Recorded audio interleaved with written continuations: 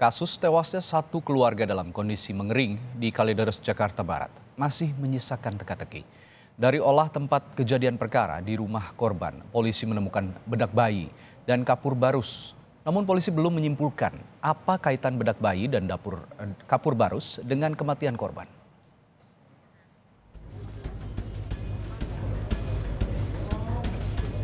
Meninggalnya empat orang yang merupakan satu keluarga di sebuah rumah di kawasan Kalideres, Jakarta Barat menggegerkan publik.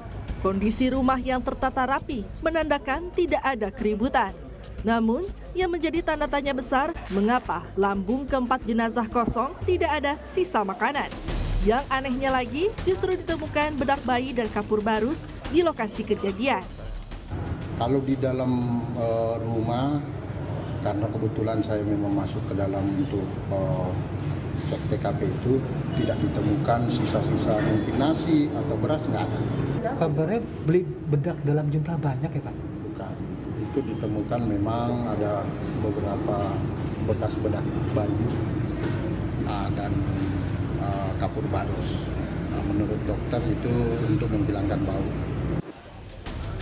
Soal ditemukannya bedak bayi dan kapur barus, psikolog forensik Reza Indragiri menilai polisi harus memastikan hasil otopsi akurat untuk bisa menguak penyebab kematian empat orang yang terdiri dari ayah, ibu, anak, dan paman berusia 71, 68, dan 42 tahun.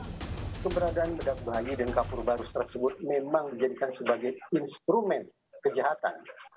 Maka ya berarti unsur pidananya terindikasi kuat.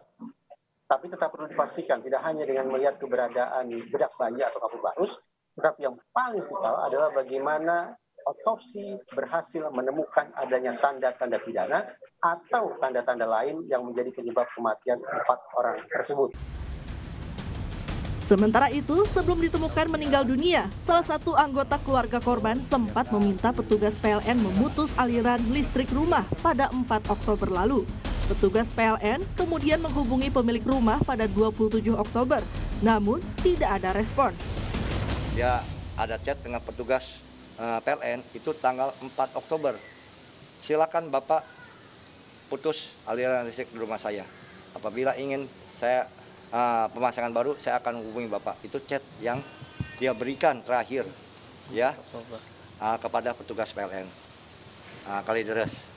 Tanggal 27 Oktober petugas melakukan telepon balik, tapi sudah setting satu, tidak ada uh, berita sama sekali. Saya terima berita terakhir tanggal 5 September.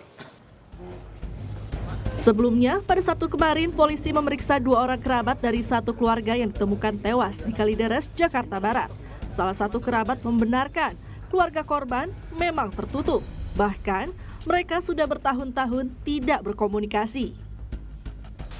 Kalau dengan saya pribadi itu sudah lebih dari 20 tahun tidak pernah ada komunikasi sama sekali. Tapi dengan istri saya mungkin sekitar lima tahun yang lalu masih sering eh, WA mengucapkan selamat ulang tahun. Kasus meninggalnya satu keluarga di Kalideres, Jakarta Barat menyedot perhatian publik tak terkecuali Wali Kota Jakarta Barat Yani Wahyu Purwoko. Dalam kunjungannya ke lingkungan tempat tinggal korban, Wali Kota Jakarta Barat mengimbau warga untuk saling berinteraksi agar timbul kepedulian antar sesama. Nah ini kan kita lihat bahwa uh, kejadian ini tidak serta merta ini yang meninggal ya terus tentunya saya mengucapkan turut berduka cita ya. Yang empat korban kan nggak serta merta langsung empat empatnya meninggal. Memang uh, apa motif sebab-sebab daripada kematian ini tentu ini masih dalam penyelidikan pihak Polri. Meski tidak ditemukan sisa makanan di lambung keempat jenazah, polisi menduga penyebab meninggalnya korban bukan karena kelaparan. Itu artinya ada penyebab lain sekeluarga tewas mengering. Tim Liputan Kompas TV.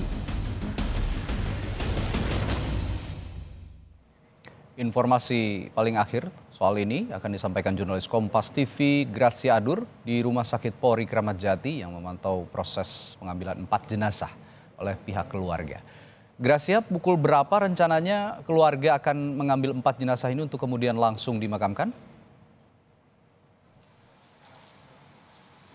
Baik Radi dan juga saudara, informasi yang dapat kami sampaikan dari Humas Rumah Sakit Polri AKBP Wulan, sebetulnya hari ini ada rencana dari pihak keluarga untuk menjemput empat jenazah di Rumah Sakit Polri. Tetapi beberapa saat yang lalu saya diinformasikan oleh Humas Rumah Sakit Polri bahwa penjemputan empat jenazah itu tidak jadi dilakukan hari ini karena pihak keluarga masih menunggu keluarga lain dari luar kota untuk melakukan penjemputan empat jenazah di Rumah Sakit Polri. Ini saudara. Nah, sebetulnya Radi dan juga saudara, secara umum proses ataupun prosedur otopsi ini perlu peran keluarga. Karena dengan demikian eh, dokter bisa menjelaskan apa penyebab dari kematian empat jenazah ini, kemudian prosedur otopsi yang dilakukan adalah jenis seperti apa. Dan kemudian ini juga nanti keluarga bisa dengan bebas bertanya kepada pihak dokter forensik untuk terkait uh, bertanya mengenai apa penyebab kemudian apa prosedur yang dilakukan saat ini. Nah, untuk sekarang nanti setelah prosedur otopsi ini sudah sudah selesai dilakukan, maka secara sepenuhnya dokter forensik akan menyerahkan seluruhnya kepada pihak uh, keluarga untuk dilakukan proses selanjutnya sesuai dengan agama dan kepercayaan masing-masing. Nah, kalau informasi sementara,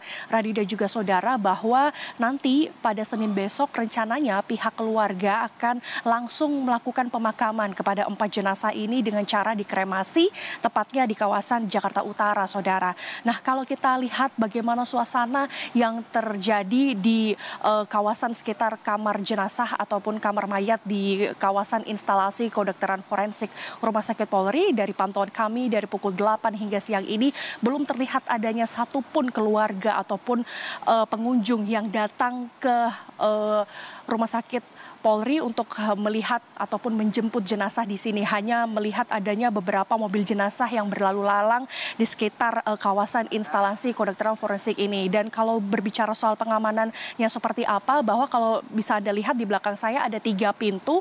Yang pertama dua pintu rumah duka dan satu pintu pintu uh, ruangan otopsi. Ini juga di ruangan otopsi ini juga uh, pengamanannya cukup ketat karena tidak ada pihak lain yang boleh masuk ke ruang otopsi ini hanya keluarga yang bersangkutan saja yang boleh masuk ke dalam uh, ruang otopsi yang berada di Rumah Sakit Polri ini. Nah, nanti kita tunggu bersama Radi dan juga saudara kapan uh, keluarga dari empat jenazah ini akan datang menjemput empat jenazah yang berada di Rumah Sakit Polri ini. Radi.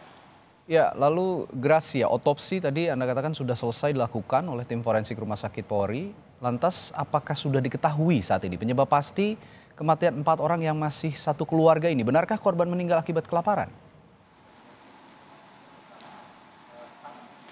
Tadi uh, kami para jurnalis yang dari tadi memantau di kawasan Rumah Sakit Polri dan tadi sempat uh, melakukan pesan singkat kepada pihak humas eh, dari Rumah Sakit Polri. Dari humas Rumah Sakit Polri tidak menjelaskan lebih pasti apa penyebab dari kematian empat jenazah ini karena dari dokter forensik Rumah Sakit Polri sudah uh, melakukan visum dan hasilnya ini langsung diserahkan ke penyidik dari Polres Metro Jakarta Barat dan nanti dari tim penyidiknya sendiri yang nanti akan memberikan informasi apa penyebab kematian ini kepada pihak keluarganya langsung. Yang sekarang lagi ditunggu oleh pihak humas Rumah Sakit Polri adalah kapan uh, keluarga ini akan menjemput empat jenazah ini, saudara. Tapi kalau uh, saya mendapatkan informasi sedikit dari Kapolres Metro Jakarta Barat, Kombes Pasmu Royce mengatakan ada beberapa poin uh, dugaan penyebab kematian dari keempat jenazah ini. Yang pertama adalah tidak ditemukan adanya asupan makanan dan minuman pada lambung empat jenazah ini, saudara. Kemudian poin yang kedua adalah tidak menemukan adanya bekas luka akibat penganiayaan ataupun kekerasan dalam jenazah korban korban.